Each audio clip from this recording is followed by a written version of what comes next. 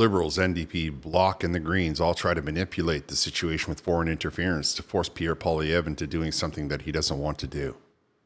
Hello, everybody. Welcome to the Canadian Shield. My name is Sterling. I'm your host.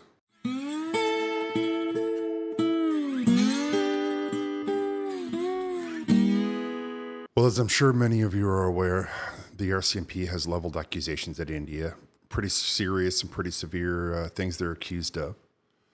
And for a minute, the all the parties got together in Canada and they agreed that there would be a path forward on having a look at this problem. And then, of course, just seconds away from adjourning for the day after agreeing to the motion, the far left had to collude to try and force the center and the conservatives into doing whatever it is that they want to. They have such issues with control.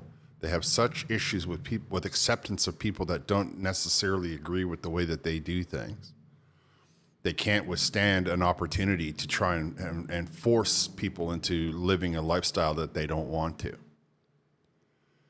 Now that goes in stark contrast with many of the other positions that the, that the NDP and the uh, Liberals take. I, I understand that, and I'm going to start talking about that in a minute. Like not in this video, but shortly. In this video, I just want to show you the playing politics. I want to show you how it exactly played out. So, like I said, there was a 1064 and they were having a motion, and all of the parties agreed that they were going to call this list of witnesses and how much time they were going to have each witness for, and it was going to be deputy ministers and ministers, and they were going to be talking about this overriding issue of foreign interference in the Canadian political and Canadian day to day living. Everything from the Chinese interference right through. And of course, the just as the chair was about to slam the gavel, just as he said, We're adjourned for the day, the NDP pipes up. The Liberal all of a sudden stops slamming the gavel. And the motion that was introduced is pretty I mean, it's nothing but politics that they're trying to do. There's nothing in it for anybody but them. I'm going to let you watch it. So here we are. He's well. You're going to hear him. Uh, is there any more uh, any more questions or discussion on this uh, on the amendment? Sorry, on the motion as amended. Seeing none, I call a call a vote on this. All in favor? All opposed? Thank you very much. Uh, the motion is carried, and that wraps up our business. Thank you very much, Olive, and we are adjourned. Mr. Chair, Mr. Chair. Uh, yes, go ahead. I had my hands up. I had oh, my sorry, I apologize. So that was MP McAllister, the guy who caused called the whole meeting together in the first place from the from the NDP, and you could see that the chair was just about to to adjourn for the day, but true to form, they couldn't resist an opportunity to introduce a new motion because of their fixation and obsession with having everyone live the life that in in a way and in a degree and in a position that they must agree with. If they don't agree with it, then they have to steep, just keep starting trouble for you, and then they wonder why Canadians are fed up with the all of, with the whole process and fed up with their parties in general. I'm going to let you hear it, MP McAllister. That's who was speaking, and that's who you'll see here in a second. Thank you. Um, just related to the uh, same. I would point out that you can see that he's reading from a monitor. So he had this typed out. So this wasn't off the cuff. They had prepared for this. Subject matter that we have before us.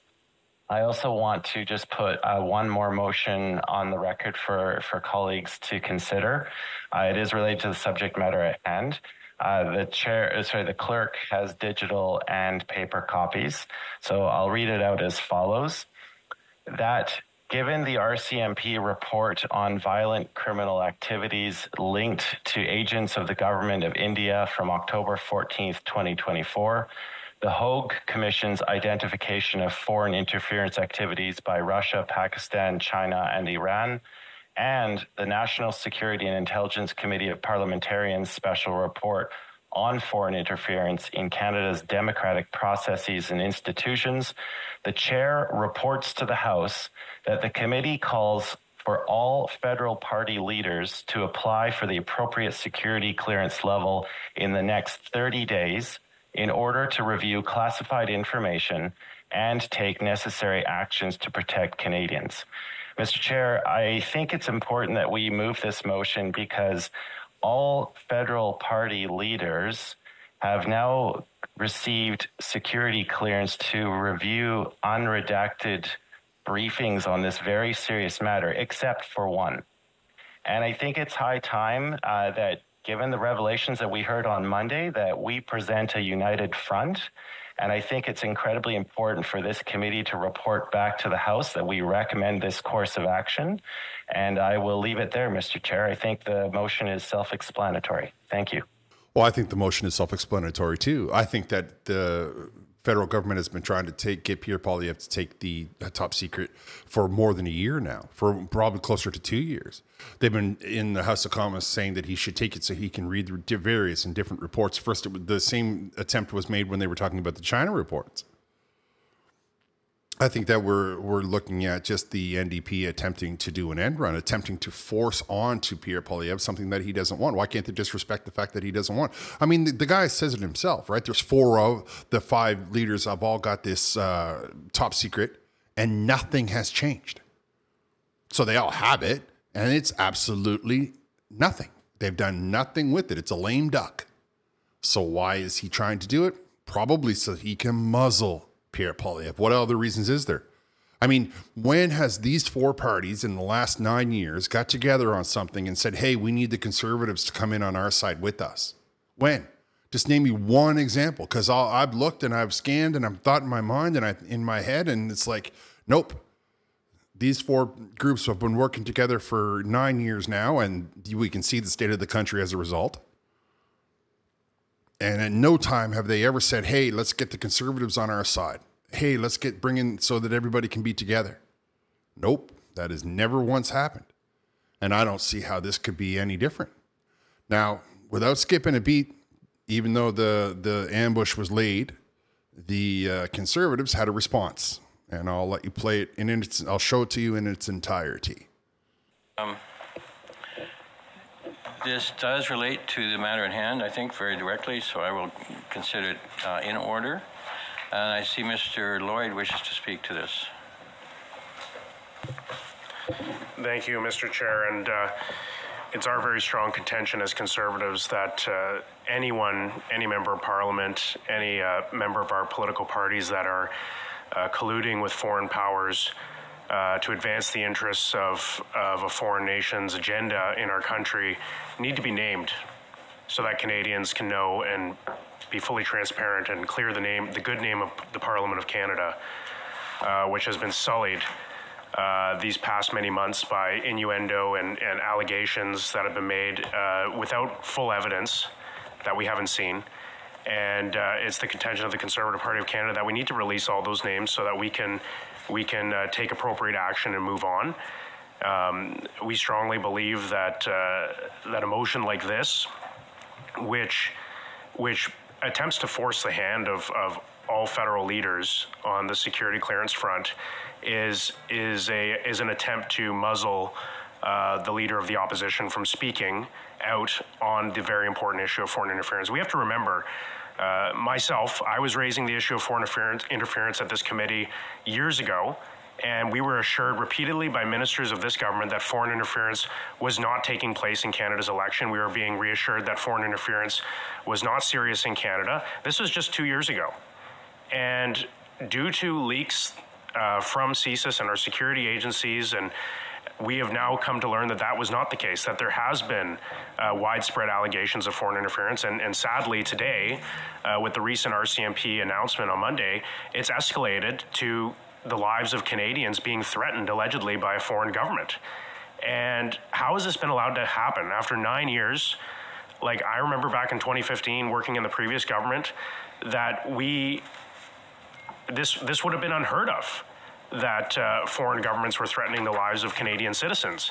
And yet, after nine years under this Liberal government, uh, due to their complete lack of action and complete lack of proactive activity to protect uh, Canada, that uh, that this has just been allowed to proliferate in this country. And, and it's not just allegations against India. There's a number of countries that see Canada as a completely soft target uh, for foreign interference. And it's leadership. It's lack of leadership in Canada under this Liberal government, under this Liberal Prime Minister, who has now decided to try to weaponize the issue of foreign interference for his own political ends to distract from the very real problems that his leadership is facing, even within his own party, to try to weaponize the issue of national security uh, for his own partisan ends. It's, it's, it's frankly, um, it's disgusting.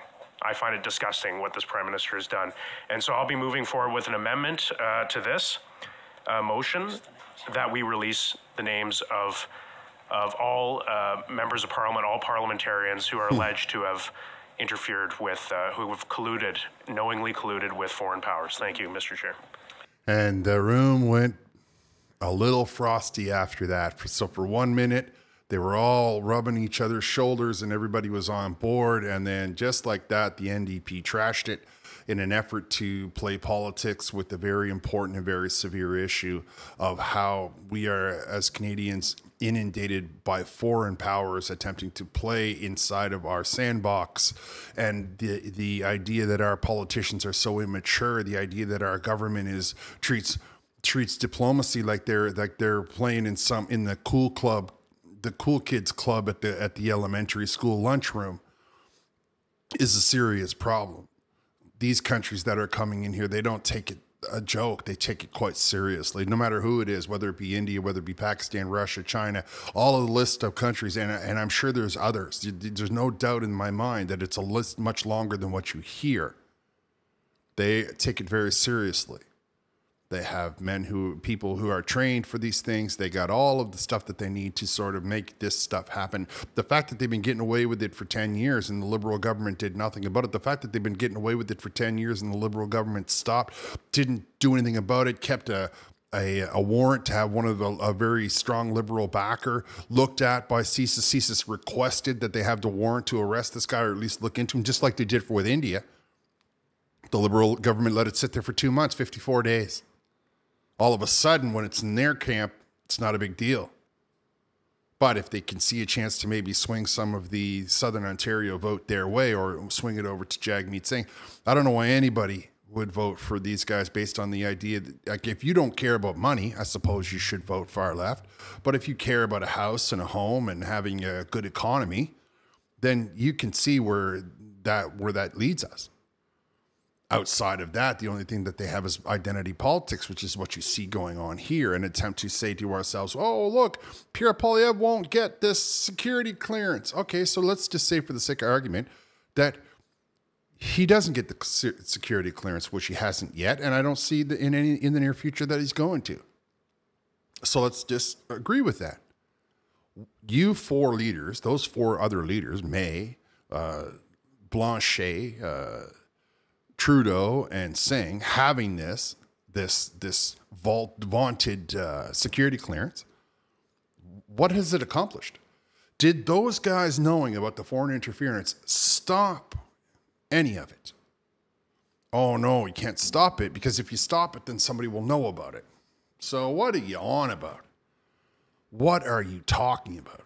All you are is trying to change the narrative away from the fact that not only have you let Canadians down, you've let down new Canadians, you've let down nationalized Canadians, you, you, you cannot keep our country safe from foreign interference. And you think in your mind that by detracting from that, by not looking at that problem straight on and head on and directly, the Canadians are all of a, all of a sudden going to think to themselves, oh, let's vote for them? That you're all of a sudden going to be telling yourself that it's not such of a big deal? I grant you that maybe when you're when you're comparing the interference from India versus not having a place to live or living in a tent city or not having the you know living in your car or not having the money that you can need to live your life or having everything being 10 times more expensive than it was just 5 years ago perhaps it's not such of a big deal. But if it's not such a big deal in that situation then why bother playing politics with it the fact that we took this very serious issue and tried to make it all about again trying to force Pierre Poilievre into doing something that he doesn't want to do. Right? You're trying to force him into something that he doesn't want to do. That doesn't sound very democratic to me. All right, I'm going to wrap here. I want to thank you for listening. I'll talk to you next time.